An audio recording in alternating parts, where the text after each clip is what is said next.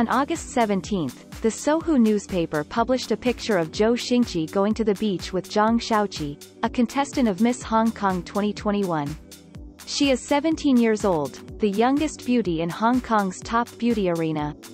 The paparazzi said that Zhou Xingchi was very cautious when appearing with Zhang Xiaoqi. He had his assistant search the beach many times before appearing with a young beauty. Chow Tin Tri wears a jacket and a hat to cover his face. Then the two boarded a ship of nearly 13 million United States dollars to watch the sea and surf. The male director of Comedy King has many intimate gestures, teasing Zhang Xiaoqi the source shared with On. Zhou Xingchi is looking for a beauty surnamed Zhang. The veteran star actively asked for Xiaoqi's contact number when meeting at a party.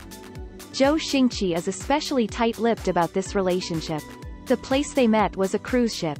The Mermaid director arranged a private car to pick up Trong Tiu Pham while they were dating. She was not allowed to take pictures or record his voice and had to delete all text messages back and forth.